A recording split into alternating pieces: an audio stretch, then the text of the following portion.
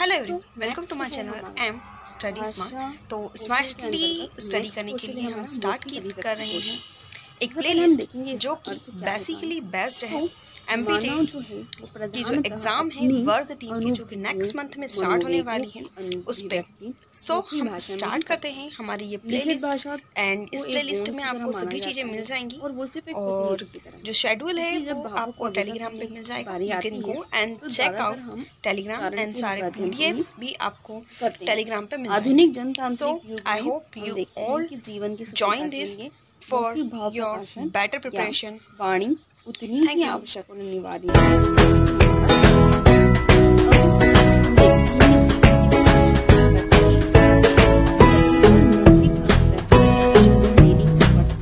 जहाँ भी हम अपने आप को प्रेजेंट करेंगे हमें सबसे पहले मौखिक अभिव्यक्ति का ही ज़रूरत पड़ती है। जैसे अगर हम बच्चों के सामने हैं तो वहाँ पे भी हमें मौखिक अभिव्यक्ति लगेगी। अगर हम जॉब के लिए इंटरव्यू देने जा रहे हैं तो वहाँ भी हमें मौखिक अभिव्यक्ति लगेगी। ज़्यादा से ज़्यादा मौखिक अभिव्यक्ति ज़्यादा ज़रूरी होती है और अनिवार्य होती है। सबसे पहले हम देखते हैं इसका महत्व क्या है। तो ये सहज है, सरलतम माध्यम ही भाषा की शिक्षा को प्रारंभ करने का। नेक्स्ट हम देखते हैं कि जो मौखिक अभिव्यक्ति है, उसमें अनुकरण, अभ्यास, इनके अवसर बहुत ज़्यादा मिलते हैं और मौखिक भाषा के प्रयोग में कुशल व्यक्ति अपनी वाणी के से जागुदू की तरह जगा देते हैं और अपने आप को लोकप्रिय बना सकते हैं। जैसे कि हम नेताओं को देखें तो वो भी उनके जो भाषण हैं वो कुछ इस प्रकार होते हैं कि लोगों पे जादू से छा जाता है। तो मौखिक अभिव्यक्ति बहुत ही ज़रूरी है, आवश्यक है। मौखिक भाषा के द्वारा विचारों के आदान प्रदान की हम नई नई जानकारियाँ मिलती जाती हैं।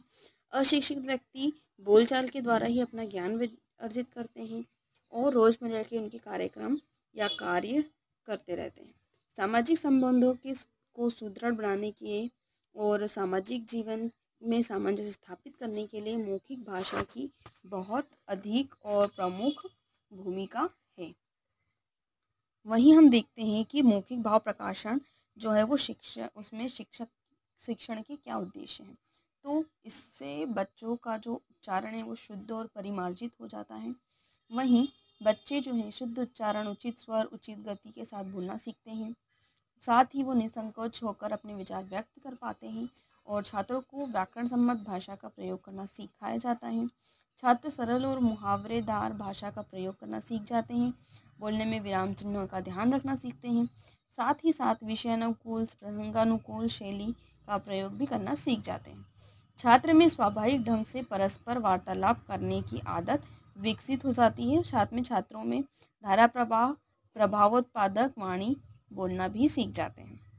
नेक्स्ट हम देखते हैं कि मौखिक अभिव्यक्ति की क्या क्या विशेषताएँ हैं। तो इसकी कुछ विशेषताएँ जैसे स्वाभिकता, फिर स्पष्टता, शुद्धता बोधगम सर्वमान्य भाषा हर जगह वैसी ही बोली जाती है। शिष्टता भी है, इसमें शिष्टता का ध्यान रखा जाता है। मधुरता है और प्रवाहमय है, इसमें एक प्रवाह होता है। वहीं अवसरानुकूल है, अवसार के अनुसार हम उसमें भाव प्रकट कर सकते हैं, अवसर के अनुसार हम उसमें हमारे शब्द भी चयन कर सकते हैं। नेक्स्ट है श्रोताओं के अनुकूल भाषा। जिस प्रकार के श्रोता हैं, जिस प्रकार के सुनने वाले हैं, उनके स्तर के अनुसार हम भाषा का प्रयोग भी कर सकते हैं। नेक्स्ट है मौखिक अभिव्यक्ति कौशल की शिक्षण विधियाँ। तो कुछ विधियाँ हैं। सबसे पहले है वार्तालाप। तो वार्तालाप करके मतलब आज बातें करते करते ही भी बच्चों को कई चीज़ें सिखाई जा सकती हैं उनके मानसिक और बौद्धिक स्तर के अनुसार।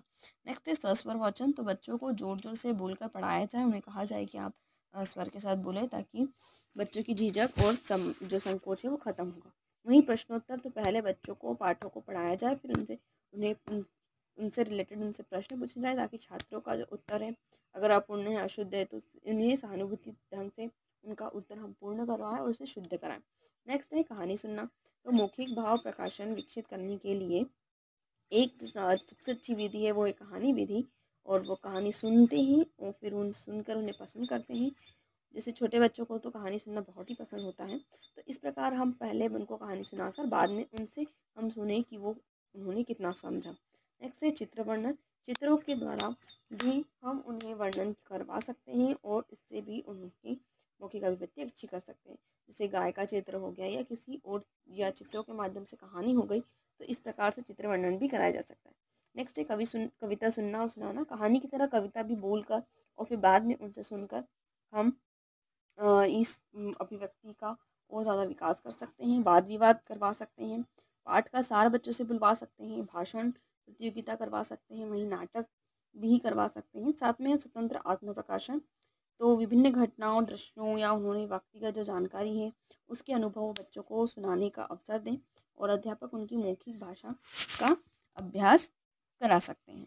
नेक्स्ट है, मौखिक भाव प्रकाशन से संबंधित शिक्षण की सावधानियाँ तो शिक्षक को क्या सावधानी रखनी चाहिए? तो बच्चों की त्रुटियों को ठीक कराने के लिए स्वर यंत्रों को साधा जाए। यदि प्राकृतिकरण से कुछ उनका शुद्ध चलन नहीं कर पा रहे हैं तो इसके लिए उनके माता पिता को सूचित किया जाए और उन्हें कहा जाए कि उचित डॉक्टर की परामर्श लें।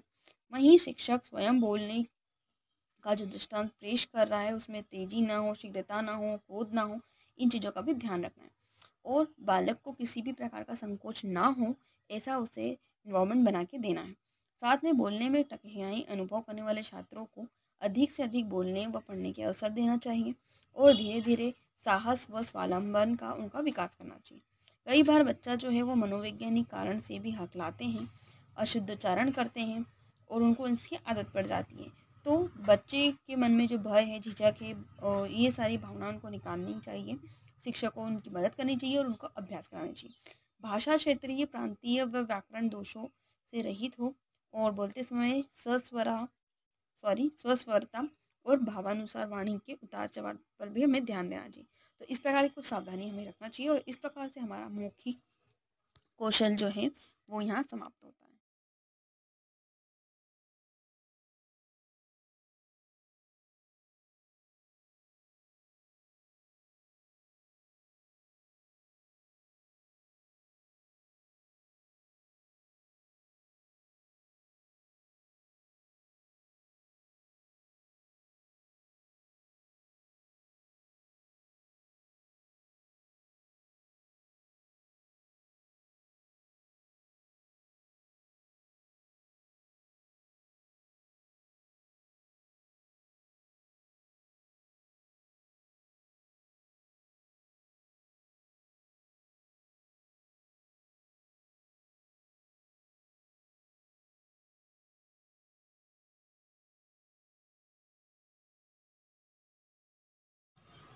थैंक्स फॉर वॉचिंग इसी तरह बने रहिए और ज़्यादा कंटेंट्स के लिए टीचिंग एग्ज़ाम्स जैसे कि वर्क दीन C TET M P TET सभी से जुड़ी हुई आपको इन्फॉर्मेशन इस पर मिलती रहेगी।